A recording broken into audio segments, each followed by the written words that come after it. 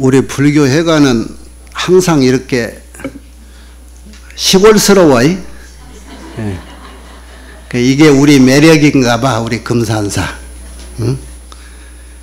완벽하고 깔끔하고 옛날 오래전에 일본 여행 가면은 뭔 길거리에 휴지가 없고 휴지 버리는 휴지통이 없고 그랬잖아요. 예, 그것이 그렇게 달가워 보이지는 않았어요. 예. 지구촌에 민주주의를 처음 시작했다고 그리스라는 나라를 가면은 민주주의가 너무 자유롭다 이렇게 생각만 해서 그런지 온 나라가 막 바람에 쓰레기 날리고 어쩌고 휴지가 바람에 날리고 그렇거든. 음, 이제 그런 나라에 사는 사람은 조금 자유분방하고 어, 그랬던 것 같아. 우리 에, 전북 불교회가는 그런 거 그러면 그냥 조금 모자란 듯 허술한 듯 에? 이게 아마 아 좋은 쪽으로 우리가 생각해야지. 내가 여, 여러분 가지고 있는 주보 늘 다급하게 사진 찍어서 요거만 좀 인쇄해서 넣어줘라 그러고 지난달에 너 지난달에 나 안 줘봤는데 여러분은 받아봤어? 그거 보고 내가 말 안 해줘도 다 알아들었나 봐. 질문도 안 했던 것이. 지난달에 내가 법회를 왔었는가 모르겠고. 오늘 이 주보 보니까 어, 내가 요렇게만 저 원문을 한문으로 넣어서 요렇게만 해라 그러고 표식을 이렇게 해놨는데 그거는 전혀 어디로 가버리고 이것도 말도 이 교정도 안 본 주보가 나왔네. 예? 누가 사무실에 누가 이렇게 꼼꼼히 하는 사람이 우리 금산사 성격이 그렇듯이 잘 없나 봐 누가. 예? 옛날 이 과장 있으면 이거 열심히 야무지게 잘 하던데. 오늘 동지라서 이렇게들 많이 왔어? 에... 나보러 동지, 동기죽을 동지죽을 먹어야 집에서 동지죽 요즘 잘 안 하지요? 옛날에 동지가 아세라 그래서 작은 설인데 실은 에, 오늘 동지죽을 먹어야 나이를 한 살 더 먹고 설날이 바른 설날이고 오늘 동지가 작은 설이라 애부터.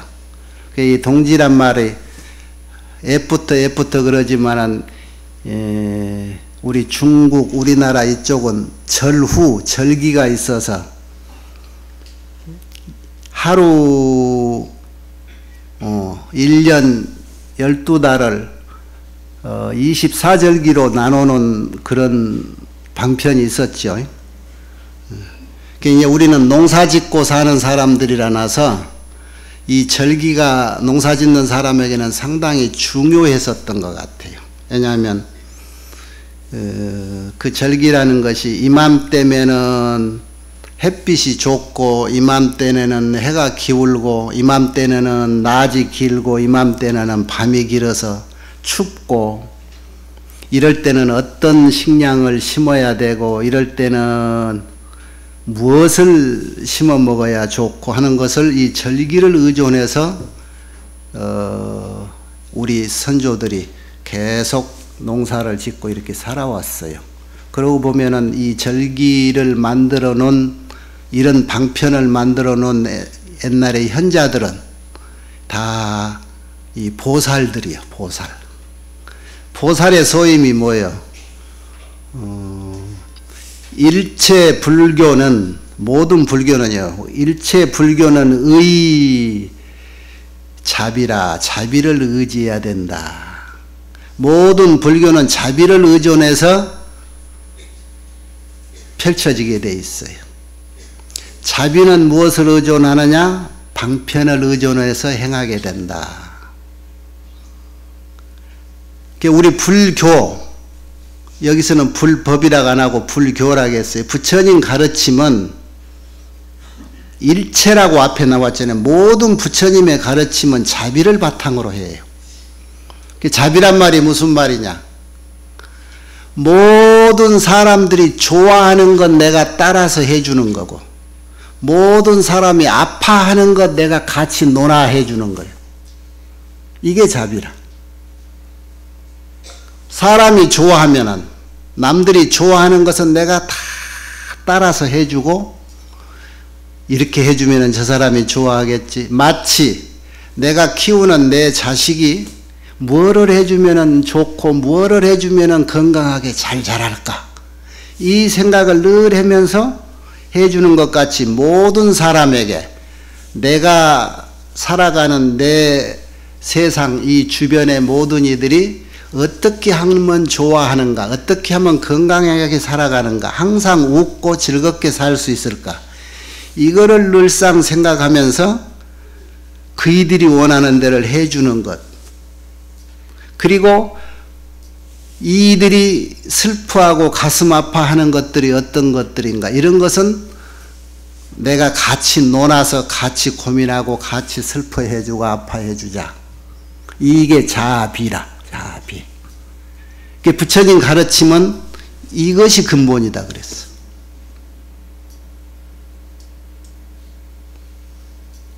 부처님은 왜 이런 걸 알았을까 세상이라는 것이 이런 것이기 때문에 이렇게 살아야 된다 그런 거예요. 세상이라고 하는 이치를 아셨기 때문에. 그래서 부처님께서 세상을 아셨다는 그 내용이 진리요. 세상에 참다운 이치요. 왜 그럴까? 우리가 그동안에 공부해온 사람은 그걸 알지요. 부처라고 하는 이름, 부처라고 하는 경지는 우리 인류뿐만이 아니라 모든 세상의 존재라고 하는 것. 그래서 온 세상을 법계라고 그랬죠? 법계에 있는 모든 존재의 근원은 무엇인가 하나의 귀결점이 있더라. 뿌리는 하나더라. 하는 것을 부처님이 아신 분이고 그걸 아는 경지가 부처고 그걸 아시는 분을 부처님이라고 한 거예요. 왜 하나였던가? 그래서 일일이 우리에게 그동안의 경전을 통해서 설명을 했지요. 음. 우리는 에, 제가끔 자기의 삶을 자기의 인생을 이렇게 나름대로 다 살아가고 있어. 그것이 내 삶의 그림이 근본인 모두가 하나로 공통으로 쓰고 있는 하얀 도화지에 그렇게 모두가 같이 하나로 쓰려면은 얼마만큼 커야 될까? 저 허공보다도 훨씬 크다 그랬지? 그것을 너나 할 것 없이 다 그 안에서 자기의 그림을 사는 것이 자기 인생이라고 그랬죠. 예. 그런데 그렇게 그려진 자기 색깔만의 삶이 내 인생인 양 했는데 그것이 근본을 알아버린 어른들 가르침을 듣고 보니까 아 이것이 잘못돼 가고 있었구나 하는 것을 알게 됐더라는 거예요. 그 지금 내가 유인물에 오늘 동지고 그래서 요거를 어 우리 보조국사 고려시대에 뛰어난 진울 스님의 그 수신결 한 대목을 써서 주었는데 이 한문은 빼불고 한글은 이게 조금 교정이 안 박아서 중복된 것도 있고 앞뒤가 좀 애매하게 돼 있네. 그 오늘은 내가 제목을 이렇게 하고 싶어. 깨달음에 의해서 닦거라. 아는 걸 바탕으로 수행해라 하는 얘기요. 수행 뒤에 닦으라고 하는 것은 살아가는 우리의 삶이고 그 삶이 전제돼야 될 것이 모르고 살지 말고 알고 살아라. 안다는 게 깨달음이에요. 그 깨달음이라는 게 먼저 어떤 것인가? 근본적인 것은 우리가 부처가 어떤 경지인가 항상 그게 화두가 돼 있어서 끝까지 공부해야 될 목적이면서 그 자리에서 비춰진 교훈을 가지고 우리가 의지해서 공부를 해가야 된단 말이야. 그래서 그 가르침이 진리고 내의 이 중심줄이야. 기준선이요. 그래 보면은 깨달음이라는 건 이런 거예요. 부처님도 조사님도 나도 공통으로 가지고 있는 것 그거 하나. 내가 지금 현재 잘못 걸어온 현재의 나이기 이전에 애초에 어디에도 물들지 않았던 본래의 내 자신 그 자리는 부처님하고 전혀 다르지 않고 똑같더라. 라고 하는 것을 아는 것. 그것이 깨달음이에요. 그러니까 부처님과 조사와 나가 하나이더라 라고 알아채는 것이 그것이 깨달음이고 그게 진정한 알미라는 거지. 그런데 지금 현재의 차이는 뭐예요? 부처님은 참 모든 것이 완벽하다라고 저 쳐다볼 수도 없는 높이에 계신 부처님의 지위고 우리는 현재 내가 이렇게 살아가는 이 자리가 흙탕인지 진흙탕인지를 모르고 앞뒤를 모르고 첨벙거리고 앞사람이 가니까 그 길이 어딘지를 모르고 뒷꼭지만 보고 따라가는 그런 지금 삶이 돼 있는 거예요.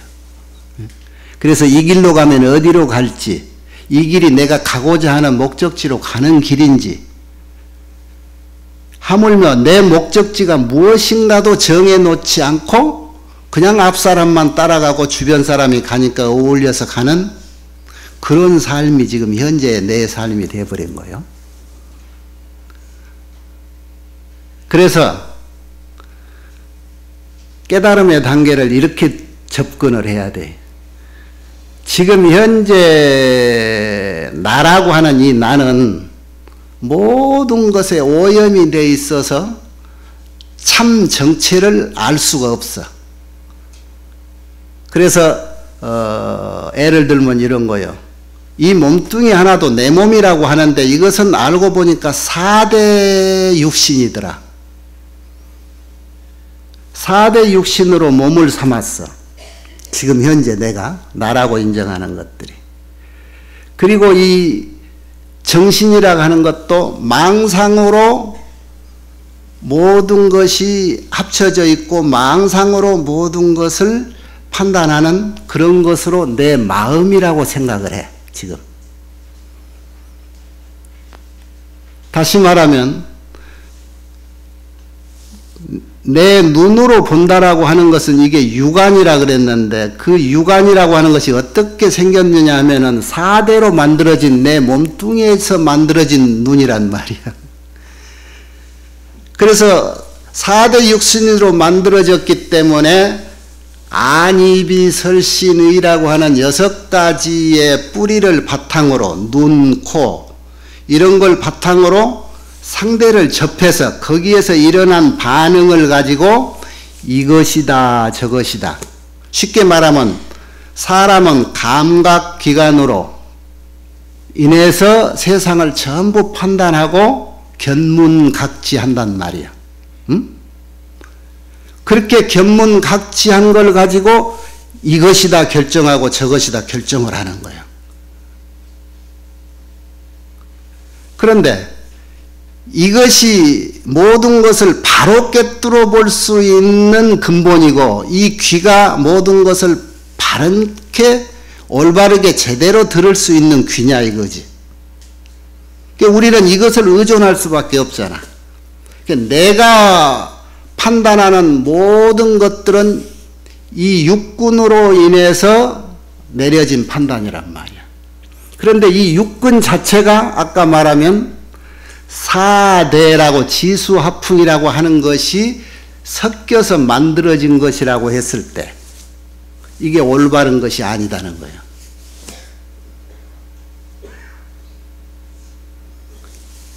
망상은 본적이요, 진경은 본공이라 그래요. 그러니까 거기에서 일어나는 견문각지 보고 듣고 느끼고 하, 판단하는 것들이 이것이 쉽게 말하면 중생심이라고 하는 건데 보편적인 사람의 마음이라고 하는 거예요. 그런데 보편적인 우리 일상의 사람들의 마음은 지금 이렇다고 진짜인지 가짜인지도 모르는 것들이 온통 섞여가지고 제 나름대로 판단을 해서 이것은 이렇다 저것은 저렇다 지금 하고 있는 현 상태예요. 그런데 그렇게 내려진 판단이 옳은 판단이고 참 진리를 바라볼 수 있는 눈이냐 이거지.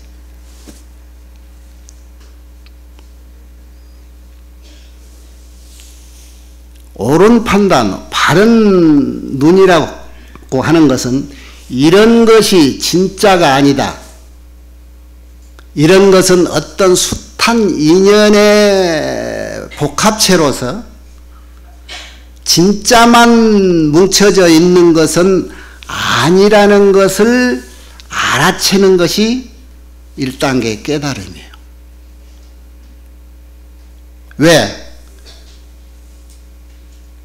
정답을 몰랐을 때는 정답을 안 성인, 부처님의 가르침에 의존해서 그걸 판단을 해야 돼. 그렇게 볼 때 우리의 내 것이라고 인정하는 육신마저도 참 내 것이 아니다. 라고 하는 것을 우리가 이제 깨달아야 된다. 그래서 아까 처음 했던 말대로 부처님도 훌륭한 스승인 조사들 이런 이들도 나하고 원래는 똑같았다라고 하는 것을 알아채야 된다 이 말이에요. 그것이 깨달음이에요.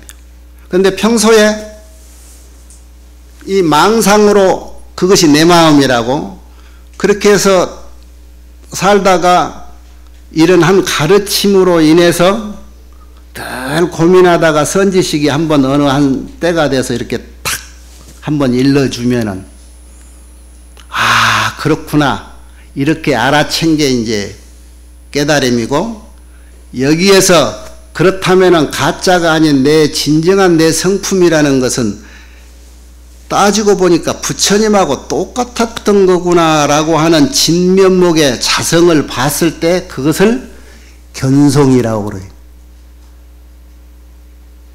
그, 그 순간에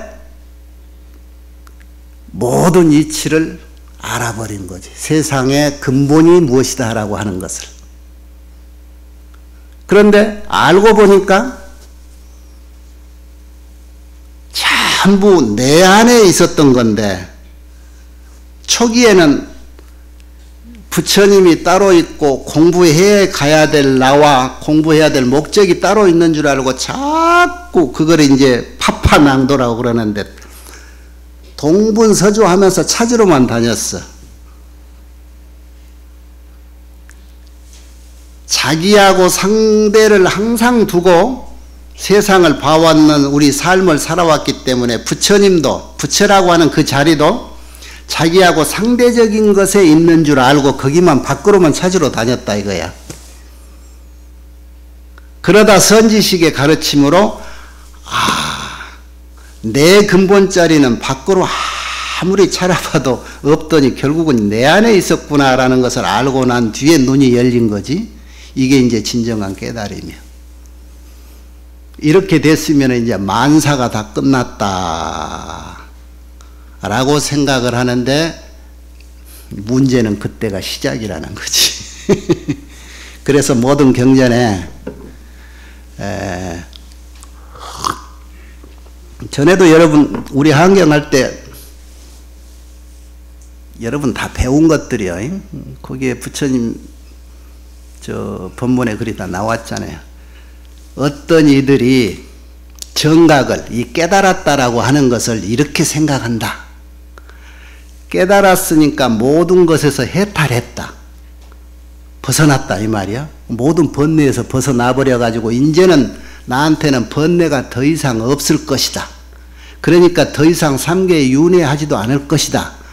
라고 정각, 깨달음이라는 것을 이렇게 이해하고 생각하는 사람은 피비증도 아니라 정말로 도를 안 사람이 아니다. 그랬죠? 피비증도 아니라. 숱하게 얘기했어요. 깨달음이 다가 아니다. 그래서 연수 스님의 저 사료관도 법문했지요. 깨달은 것이 다 인양하고 살면 마지막에 회양할 때 열의 아홉은 잘못된다. 그렇다면 어떻게 해야 되느냐? 에, 여러분 보림이란 말 이제 공부하는 사람 다 들어봤지요? 에, 쉽게 우리나라 스님들 결제 석 달을 공부를 열심히 해서 해제 석 달에 이제 만행을 하고 다녀. 그걸 보림의 기간이라고 그러는데 원래 보림이란 말은 깨닫고 나서 그 깨달음에 의존해서 행동하고 사는 것을 보림이라고 그래. 그런데 그 보림은 뭔 뜻이냐? 지키고 지닌다. 잘 보호하고 지켜낸다. 무엇을? 깨달음이라는 무엇인가라는 그 깨달음을 잘 보호하고 매사에 그 깨달음을 지켜서 그대로 유지해 나가는 것이 보림이야. 깨닫지 못한 자의 보림은 그게 보림이란 말이 안 맞지. 일상생활이라 우리 보림은. 어떤 생활? 깨달음이라는 것을 바탕으로 해서 거기에 어긋나지 않게 틀림없이 세상을 살아가는 거예요. 그게 수행이요. 그게.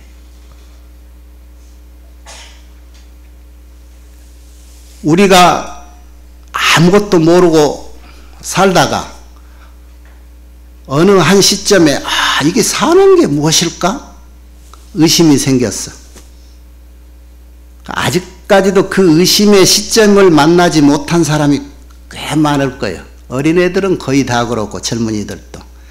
무엇인가 적극적으로 삶을 살아보고 사업을 해보고 무엇을 하다가 난관에 부딪혀서 한번 계산한 대로 계획대로 실행을 하다가 그게 벽에 부딪혀서 낙담을 한번 했을 때 하, 이게 아닌가 보다라고 하는 자기 삶에 자기 인생에 대해서 한 번쯤 생각해 볼때 그때 의심이 생기는 거예요. 아 인생이 무엇일까?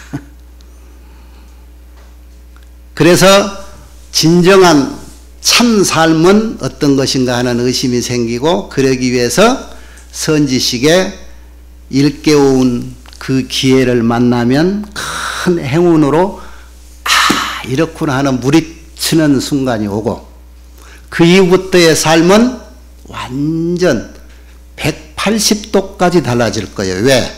거의가 180도 달라져요. 알고 난 사람은, 삶은. 그 여러분 주변에 공부한다고 하는 사람이 어느 날 어디 갔다 오더니 180도 달라진 행동이 볼 때는 저 사람 뭔가 본 것이 있구나 인정해 줘야 돼. 예? 아이고 옛날에 나하고 뭐 이렇게 부비고 고스톱이나 하고 살았는데 이렇게 보지 말란 말이야. 어디 가서 다 일주일이라도 가서 공부하고 온 사람들이라고 행동 고지 보면은 뭐가 달라. 수련대회를 잘 마치고 왔다든가 어디 좋은 절에 가서 백일 기도를 잘 하고 왔다든가 이런 사람은 삶이 달라져. 왜 달라질 수밖에 없느냐?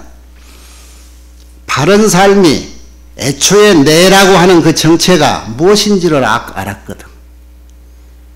내가 확실히 체험을 해서 탁 찍어서 맛은 못 본 사람은 있을 거예요, 거의. 그런데 거의 간장을 맛보기 직전까지 가서 된장인지 간장인지 이렇게 냄새는 맡을 수 있는 사람도 있어.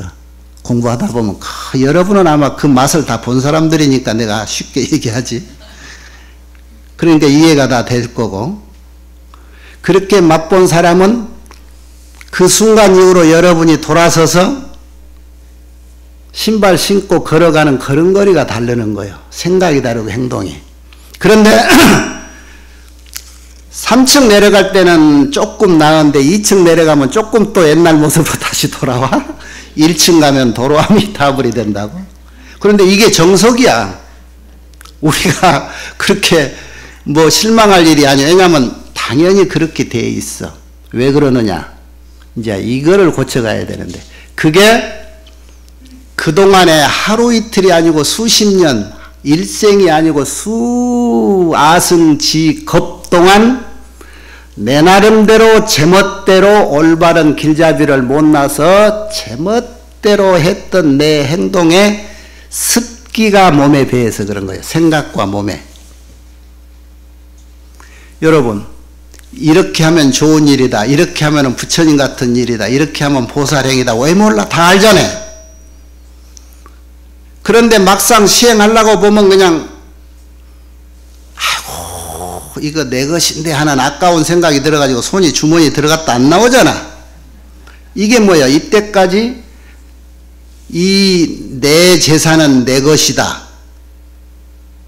내 몸뚱이는 내 거다. 이런 생각을 했기 때문에 그런 거요. 그래서 깨달음 이후에 깨달음을 바탕으로 보림을 하는 그 수행의 시작은 습기를 제거하는 과정이에요. 하나하나. 그런데 그게 좀처럼 아까 얘기했듯이 숱하게 생각과 이 몸뚱이로 익혀하고 훈련된 거라 쉽지가 않아.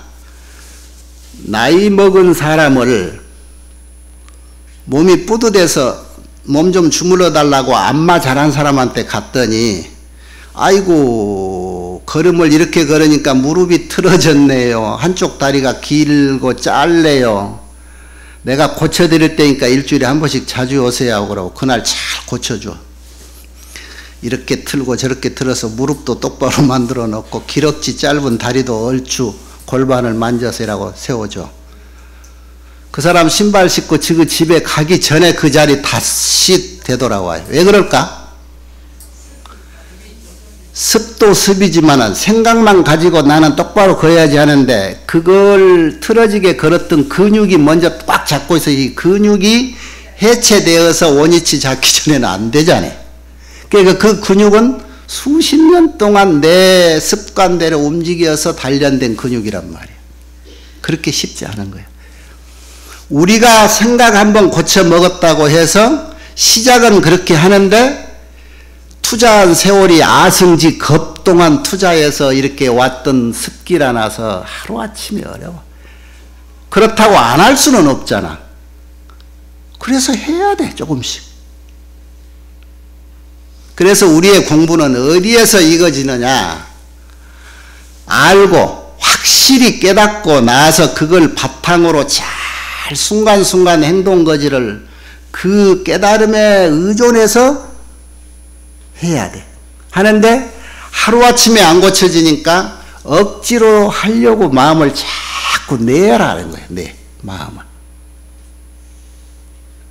응무소주 이생기심이란 말이 뭔 말이에요? 주한 바 없이 그 마음을 내라 그러죠. 그게 뭔 뜻이야? 이때까지 내가 생각했던 습기, 생각과 몸뚱이 하는 그 습관적으로 하지 말고 불쌍하다 그러면은 불쌍한 생각 자체의 행동을 해라 이거예요. 그런데 이 돈은 먼 돈, 이 시간은 무한한 시간, 이렇게 생각이 조금이라도 나기 시작하면 그때 틀린 거예요.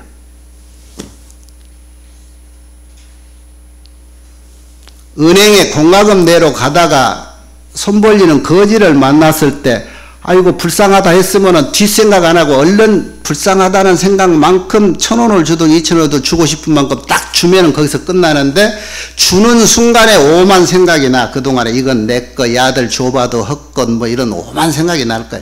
그런 생각이 들면 이제 절대 주머니에서 손이 안 나오지 바로 할 수 있는 행동 이게 응무소주 이생기죠. 그 마음 낼 때 행동해라.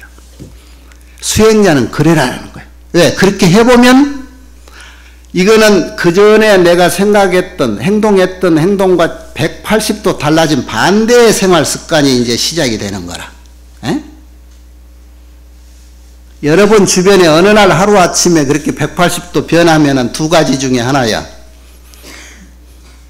며칠 안 돼서 죽든가 아니면 공부가 돼 가든가 주변에 그렇게 보면 돼. 여러분 중에 그렇다 이거야. 바깥 사람은 그럴 줄도 모르고 여기 있는 사람만.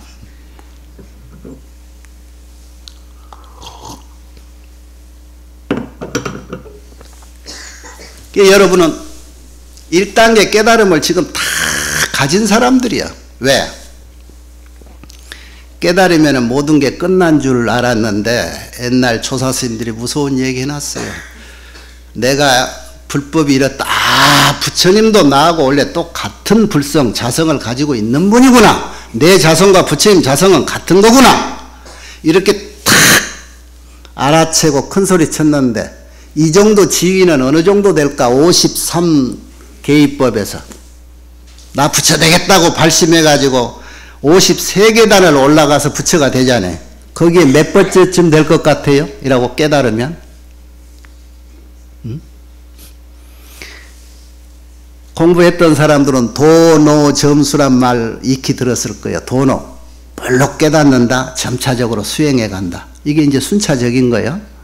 뭘로 깨닫는다는 것도 과거에 깨닫기 위한 공부를 숱하게 했어.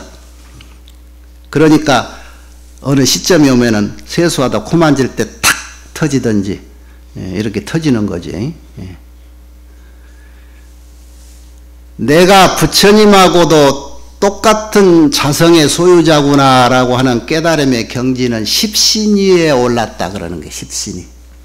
십신위는 어느 지지요? 십신, 십주, 십행, 십회양, 십지 초기 단계에 올라간 거예요. 단 그것이 여러분이 가벼운 단계는 아닙니다. 왜? 십신위에 올랐다는 것은 믿을 신자거든. 이거는 불태전 위야. 이때까지 여러분이 부처님을 믿고 불공하고 뭐하고 인과를 이 정도다라고 해서 알아채고 어쩌고 하는 것 같아도 나이 먹어서 절에 가봐도 말 좀 걸면은 난 다리 아파서 절은 못하는데 그냥 귀찮게 하지 말라고 자기 기도한다고 말도 못 붙이게 하고 절만 하고 어쩌고 어쩌고 하니까 재미없다고 교회 가면 어울려서 찬송가도 하고 어쩌고 그러니까 재미서 그리 간 사람 많잖아요. 태골심을 벗어나는 거야. 십신이를 올랐다는 건 뭐냐? 확실히 세상이란 무엇인가를 알았잖아요. 그러니까 어디에 가도 그것만큼은 변함이 없어. 그게 절대 물러나지 않는다. 그래서 어디에 머무르는가? 십신이 올라가면 십주, 머물 주자요. 어디에 머무는 거? 믿음이 그렇게 이제 학고부동하면 부처님 세계에 머문다. 그랬잖아요. 에? 부처님 세계. 생귀주라 그래 그래. 십주의 네 번째 가면 생귀 귀한 자리에 태어난다. 귀할 귀자. 그 귀한 자리가 어디냐? 열애 가 부처님 집 부처님 동네에 태어난다. 자 부처님 동네에 태어나면 그 다음에는 뭐예요? 거기서 죽고 살고 죽고 살고 하면은 뭐가 되죠? 왕대밭에 왕대 난다. 부처님 동네에 태어나면은 그 다음에는 부처 되는 것은 시간 문제. 십신이 믿음이 학고부동에서 태굴심이 없다라고 하는 지위가 그만큼 중요한 자리고 힘든 자리였던 거예요. 여러분이 그 십신이에 깨달음을 얻기 위해서 과거에 숱한 의심을 가지고 숱한 선지식을 찾아다녔고 1919년 919년인가 2019년인가 19년 동짓날 오늘 이렇게 그 시절 인연이라고 탁 맞아서 오늘 이후로 그런 지혜의 눈이 열리는 거예요. 에? 그러면 오늘 여러분 신발 신으면서부터 여러분의 행동은 여러분이 항상 그래요. 늘, 늘 하는 얘기. 나도 부처, 너도 부처인데 왜 하는 행동은 부처님 같은 행동을 안 하고 다른 행동을 하고 사느냐요. 자꾸 부처님 행동을 이렇게 닮아가야 된다고.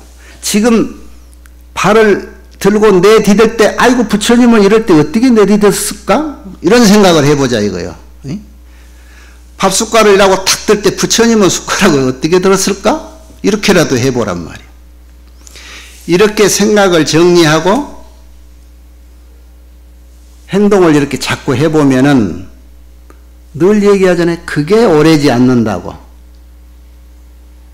오래가지 않는다고. 그 습관을 고치는 건 빠른 사람은 3년 안에 고쳐지고 늦어도 하루 한 번씩이라도 그 생각만 안 잊어버려도 10년 넘지 않는다 그랬어. 여러분 앞으로 10년 넘게 다 살 사람들이에요. 에? 이부자리 피고 단 5분, 단 3분이라도 그 생각 놓치지. 오늘 놓쳤는가 안 놓쳤는가 해보란 말이에요. 생각이 여기에 머물면 이 사람의 뇌라는 것이 과학자 얘기 들어보니까 뇌가요 하고자 하는 대로 몸뚱이를 시킨대요. 그러니까 뇌는 편리하는 데 길이 들어 있어. 그러니까 뇌를 이겨 먹으려면 하고자 하는 것을 반대로 해버려. 그것이 내가 그동안에 입혔던 습기를 끊는 것, 그리고 새로운 습관을 익히는 것이 돼. 여 훌륭한 의사들도 그런 얘기를 안 했던데 내가 저저 정말 의사보다 훌륭한 말을 내가 한번 들었는데 누구한테 들었냐면 못생기면서 개성 뛰어난 박진영이라는 가수 있지 예? 가수가 한 말 들어나요?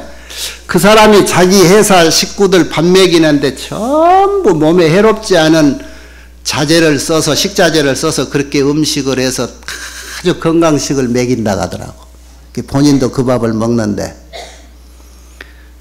그이가 언젠가 종합검진을 받으라 해서 갔더니 뭔 그 특이하다가 돼.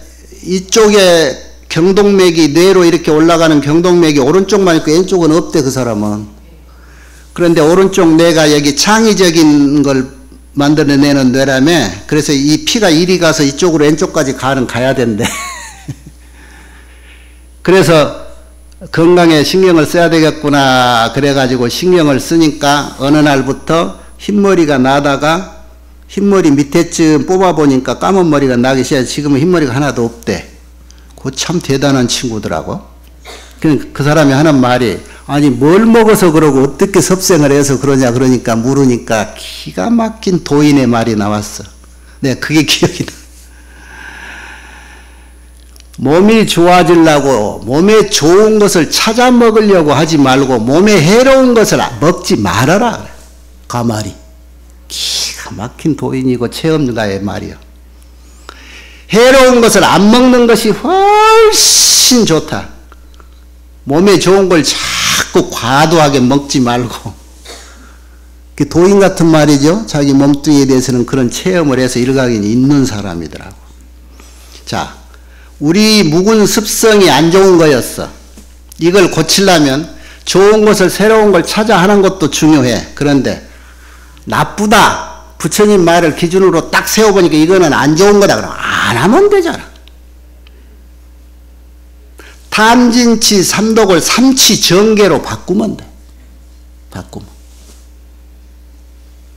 그래서 부처님 말씀이 결론은 그동안의 숫 숱한 중생을 위해서 8만 4천 가지의 방편문으로 다 애들은 이렇고 저거 좋아하는 놈은 저렇게 해주고 이거 좋아하는 놈은 이렇게 다 해줬어. 그러고 마지막에 정리해서 한마디로 했잖아요. 과거 부처님도 그러고 미래 부처님도 그럴 것이고 뭐라고 했어? 나쁜 짓 하지 말고 좋은 일 해라. 이것이 세상의 삶이다. 내 교훈, 내 가르침의 핵심은 그거다. 제약 막작하고 중성 봉행해라. 그거요. 그 나쁜 일을 어떻게 하면 안 합니까? 안 하면 돼. 나쁜 일을 해지려는 습관을 따르지 말고 그동안에 이제 자기를 잘 살펴야지. 내가 삶 중에서 나쁜 일을 많이 하고 살았을까, 좋은 일을 많이 하고 살았을까를 판단해 봐요. 왜 판단하, 판단하라고 하냐면, 자기 습성을 일일이 그때그때 내가 고치기가 어려워. 그러니까 뭉뚱거려서 하고자 하는 것을 반대로 해버리면, 나쁜 일을 평소에 했던 사람은 반대로만 해버리면 될 거 아니라? 예? 좋은 방법 중에 하나지. 이런 방편들을 본인들 스스로가 쓰란 말이야. 본인 스스로가. 그렇게 쓰려고 노력을 해야 고칠 거 아니라 버릇을. 간단하잖아. 아이고, 다른 것, 저 인간 다 좋은데 이 영감탱이 평생을 내가 수발하고 살아도 지금도 한 가지, 술만 끊었으면 좋겠네. 끊어버리면 될 텐데 왜 안 끊을까? 쉽지 않아요? 끊으려고는 해봤어? 그게 쉽지 않은 거예요. 수행은 쉽지 않은 거예요. 그렇게 쉽지 않은 거, 해탈을 한다는 것은 그그 동안에 오만 것들이 뒤섞여서 좋은지 굳인지 모르고 같이 뒹굴어서 몸에 밴 것들, 생각에 밴 것들, 이것들을 잘 골라내야 하고 한다는 것은 절대로 쉽지 않죠. 그래서 술을 자기 임의대로 못 끊으니까 술 없는 동네에다 가다 놓기도 하고 그 일을 가까이 써놓으면 늘 하게 되니까 그의 손에 안 미친 곳에다가 격리도 하기도 하고 그러는 거예요. 그렇게라도 하라고. 스님들이 아무리 출가해서 나도 부처돼야지 그러고 머리 깎고 개를 받아서 승복을 입어놨어도 세상 사람들하고 저작거리에 같이 있으면은 눈도 귀도 세상 사람하고 똑같고 이때까지 익힌 게 하루아침에 되냔 말이야. 막 그냥 뭔 뭣도 먹고 싶고 그냥 뭣도 하고 싶고 그럴 거라고. 그러니까는 그것이 훈련이 돼서 어느 정도 풀어놔도 버틸 정도 될 때까지 산에다 가다 놓은 거예요. 예? 엊그제 우리 절에 온 어떤 보살님이 내가 차로 일하고 교통이 뭐해서 싫었고 오는데 나한테 뭐 스님 어째 절은 이렇게 산에만 있을까요? 그왜 절은 산에만 있을까? 여러분 생각에 금방같이 스님들 마을에 내려와서 흩은 짓 할까봐 못 오게 하려고 멀리 산에다 놨다 갖다 놓으려고 그랬을 거예요. 옛날 스님들이. 그러죠? 자신 없는 소리야. 그것도 맞아요. 그것도 맞아. 부처님 당시에는 그 경전에 있어요. 인도라고 하는 데가 더운 나라죠. 그 인도 사찰은 조리해 먹는 부엌이 없습니다. 탁발해서 먹기 때문에. 그 이제 이 탁발해 먹는 데는 지금도 동남아 쪽에 그리고 그 나라들은 특성이 거의 또 날씨가 따뜻해. 그 이제 우리나라 쪽 이쪽으로 내려오면은 절에 부엌이 있어. 해 먹고. 백장 스님 백장 청규에 보면은 일일 부작 일일 부식이라 하루 농사 짓지 않으면 밥 먹지 마라 하는 얘기는 스님들이 그때부터는 농사를 시작했다는 게 뭐냐면은 이런 사정 저런 사정으로 세상 사람들하고 조금은 떨어져서 살았어. 그래 놓으니까 아, 우리 식자재 같은 것을 쉽게 구하지 못해서 자급자족을 했던 거예요. 그런데 초기에 부처님 말씀에 하면 절은 마을에서 그렇게 멀리 떨어져서도 안 되고 너무 가까이 있어도 안 될 거리가 좋다 그랬어. 왜냐하면 스님들이 탁발을 해와서 먹어야 되기 때문에 마을에서 너무 떨어져도 안 돼 있고 그랬죠. 그런데 또 나중에 대승불교 오면서 세상 사람들을 애면할 수 없어서 자비사상을 가지고 모든 사람을 제도하러 포교하러 나가야 되잖아요. 하루 마을까지 내려가도 하루 걸리는 저 산중에 살면 그것도 쉽지 않아. 그래서 도예지에 절이 많이 세워지게 돼. 중국 당나라 같은 때는 그 수도에 요즘 저 도예지에 예배당들을 쓰듯이 절들을 많이 세우기도 했어요. 그렇게 해서 이제 그게 부대끼다가 가끔씩 이제 동떨어진 대로 절을 짓기도 하고 또 우리나라도 역시 옛날에 도예지의 절들이 많이 있었잖아요. 궁중하고 가까워서 임금이 쉽게 자문 받을 수 있는 자리에다가 절을 짓기도 했고 신라의 전륜성왕이라고 하는 진흥왕 때는 그 항령사터에다가 큰 궁전 지으려고 땅을 파다가 너무나 궁전 지을 만한 것보다 훌륭한 명당이라 그 자리다 황룡사를 지었다고 그러잖아요. 예. 그렇게 해서 좋은 터에다가 절을 짓기도 했고 절이 산에 있는 이유가 여러 가지도 있어요. 어, 보면은 그 역참 노릇도 했고 무슨 원 무슨 원 그러면은 저기 제비원 무슨 원 경상도 이런 데는 역참 노릇 그 여관 같은 역할도 했고 또 외세 침입을 방어하기 위해서 사찰을 세워놓고 고려나 저, 저 신라 때 이럴 때는 그 국가 경계선 위치에다 큰 절을 세우고 승병을 이용하기도 했고, 음? 그런가 하면 이제 또 이게 있어. 옛날 풍수지리적으로, 어, 우리나라가 편안하고 안정되려면은 요소 요소 명당 자리에 우리의 몸뚱이 혈에다가 침 놓고 쑥 뜸 뜨듯이 그 요소 요소에다가 이라고 절을 지어 놓은 자리도 있고, 또 여러 가지지 절이라는 게. 에, 임금님을 위해서 그 유패 모시는 뭐 봉원산이 봉선산이 이런 그런 절들이 있는가 하면은 이제 이런 것을 벗어나서 수행만 하겠다고 점차 산으로 가서 산 아까 같은 경우 또 자의도 아니지만은 배불 정책이 심했던 이제 시대 같은 사대문에도 못 들어오게 하니까 할 수 없이 이꼴 저꼴 안 보고 수행만 하자 그래 산에 갔었던 살았던 그런 경우에 산중에도 있고. 이렇게 해서 산이 저 절이 산에 있는 경우가 많아져서 그 비중이 있어서 그런지 이름을 절을 그냥 절 안 그러고 산사 그러잖아 산사 산에 있다 해서 에? 예. 무슨 얘기하다 거기까지 갔을까?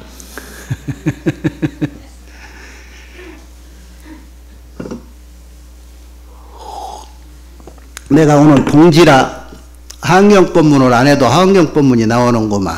동지락에서 동지 얘기해 주려고 했던 건데 이 동지라고 하는 것이 에, 절기 중에 여러분 24절기 다 알지요? 머릿속에 농사 안 지어서 그거 안 외우고 있는가 몰라 요즘 사람 그것도 어, 우리나라하고 이 지형이나 비슷한 2000년 전에 여기 산동성 쪽에 주나라에서 절기가 시작이 돼가지고 한 2000년 된 거라 요즘은 조금씩 달라진다고 해, 기후가. 그런데 아직까지도 많이 그 크게 다르지는 않잖아요. 기후가 무슨 뭐 하루아침에 변화되는 건 아닌데 2000년 동안에 그 정도 변화했으면 여러분 마음에 오늘 동지는 이런 마음을 가지라 얘기하고 싶어서 내가 깨달음과 수행을 얘기한 거요. 동지라고 하는 것은요. 음량으로 보면은 음의 극점이야. 그러면서 동시로 양의 시작이라. 그래서 태양의 부활이라고 하는 것이 동짓날이라. 밤이 그래서 제일 길고 이제 오늘 1시 지나면은 낮이 점점 이제 길어지잖아요. 야 낮은 양기니까. 그래서 옛 사람들이 참 그 현자들이 대단해요. 토정 비결 만드는 분도 현자고 사주 명리학 만든 사람도 현자들이다. 이 24절기 만든 사람들도 현자들이라.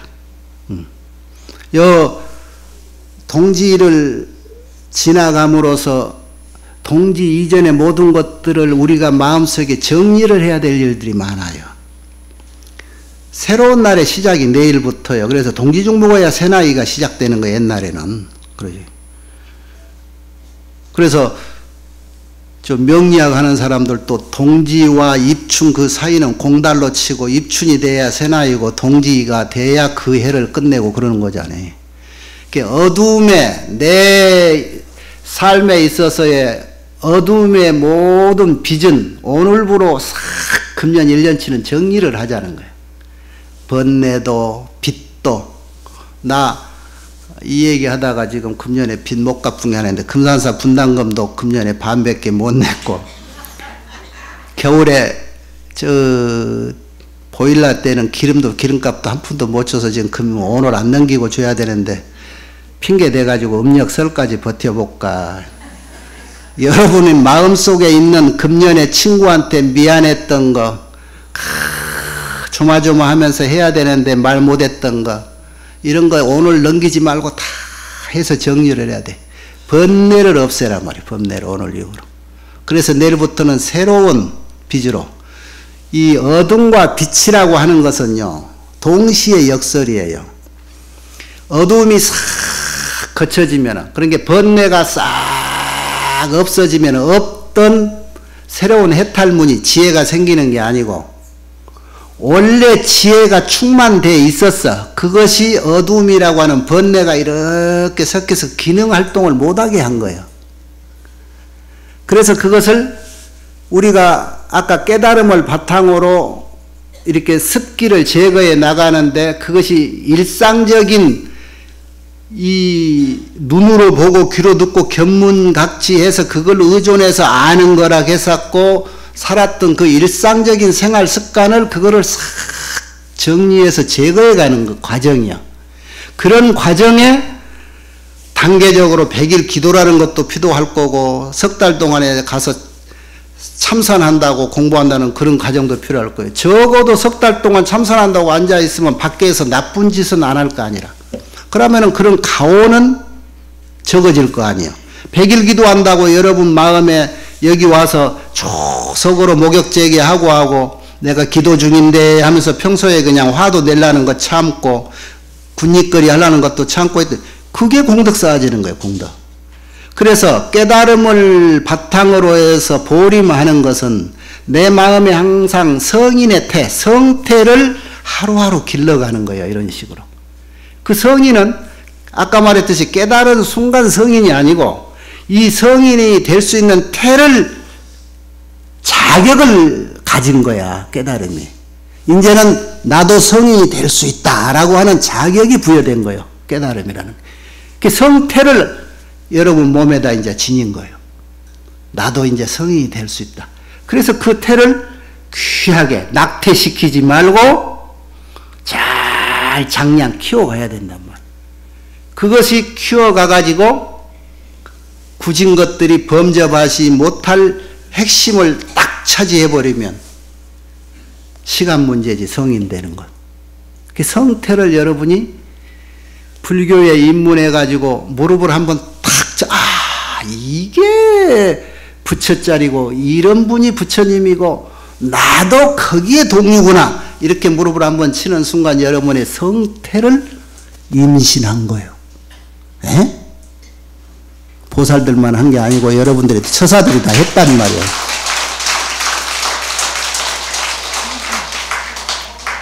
오늘까지 건성으로 건성으로 가짜 임신, 사모에서 생긴 임신이 아니면 오늘 이후부터는 진짜의 성인을 품에 안는 성태의 임신을 하란 말이에요. 예? 그래서 내년 이맘때 열 달 만에 어디 옥동자를 보던 하나씩 보자고. 여러분 얼굴이 다 성인을 임신했던 과거의 그 구마라집 부모님이나 부처님, 엄마들, 엄마들 얼굴은요. 범인의 얼굴이 아니었어. 성인을 잉태한 엄마의 얼굴들은 그건 범인의 얼굴이 아니었어. 네? 여러분 열 달 후에 내가 이제 다 볼 거야, 얼굴에. 품에 어떤 성인을 잉태를 했는가. 그러기 위해서는 오늘 정심 때 이 팥죽부터 잘 먹어야 돼. 팥죽 먹는 것부터 그냥 서툴게 먹지 말고 깔끔하게 적당량으로 저녁에 신트름 나게 먹지 말고 그렇게 해서 먹는 것부터 잘해서 내 몸에 정말 귀한 부처님 성인 종자를 지금 오늘 심었다. 그 마음으로 이 생각과 몸을 아 여러분 여러분 뭐 태교라는 게 뭐예요? 좋은 음악 듣고 좋은 소리 듣고 굳은 싸만한 소리 막 이런 거 안 보고 안 듣고 하잖아요. 오늘 이후로 그러라 이거요. 부처님 말씀만 다 참아놓으면 부처님 말씀 듣고 보는 것도 그냥 굳은 것 얼른 그쪽에 맞고 좋은 것만 보려고 하고 먹는 것도 그냥 굳은 것 그냥 막 피절절 보이는 그런 것들 먹지 말고 좋은 거 먹고 좋은 거 듣고 좋은 거 보고 막 이러면 이 성태가 점점 빨리 그 자꾸 중간에 막 구박하는 소리 싸움하는 소리 들으면 이게 제대로 잘하겠어요? 나중에 태어나도 불구자 성인이 나올 수 있단 말이야. 그 오늘 동지는 묵은 것을 다 과거의 번뇌에 휩싸인 내 몸뚱이를 싹 목욕하듯이 청소해버리고 친구에게 못다 했다 고맙단 말 그때 내가 성질해서 미안하다는데 자존심 때문에 못했다. 그 자존심은 가짜에서 나온 거예요. 모 든 근원은요 이 잘못된 습기의 근원은 어디서 냐면 나로부터 시작이 된다. 어떤 나 진짜 나가 아닌 가짜 나. 어떤 게 가짜 나지요? 지수 화풍 사대로 뭉쳐진 몸뚱이와 망상으로 생긴 생각 신심. 그런 가짜 신심을 기준으로 나다라고 나 중심으로 울타리를 이렇게 키우고 이렇게 키우고 이렇게 쌓아서 그것이 나를 거기를 가다 놓고 있는 거예요. 그 가짜 나가 중심으로 생긴 아와 아소의 울타리를 오늘 이후로 헐어버리라. 그래야 좋은 기운이 싹 들어오지. 그래서 음.